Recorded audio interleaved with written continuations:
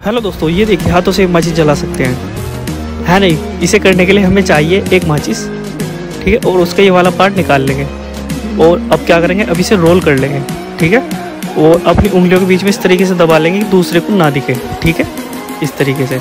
और अब एक तिली लेते हैं, और तीली को इसके बीच में रख के हल्का से ही रगड़ते हैं तो हमारी माचिस जल जाती है। इस तरीके से माचिस जलाने पर हम अपने सामने वाले को इम्प्रेस कर सकते हैं। है नहीं कमाल की ट्रिक दोस्तों।